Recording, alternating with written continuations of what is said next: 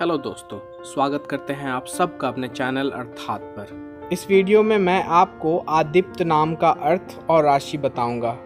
एक प्यारा सा खूबसूरत नाम लड़कों के लिए आदित्य आदित्य नाम का अर्थ होता है प्रकाशमयी या उज्जवल और इस प्यारे से नाम की राशि है मेष राशि। दोस्तों आप मेरे चैनल के पेज पर जाइए वहाँ पर मिलेंगे आपको लड़के और लड़कियों के बेहतरीन बेहतरीन नामों के संग्रह। वीडियो को लाइक कीजिए शेयर कीजिए और इस चैनल को सब्सक्राइब कीजिए। धन्यवाद।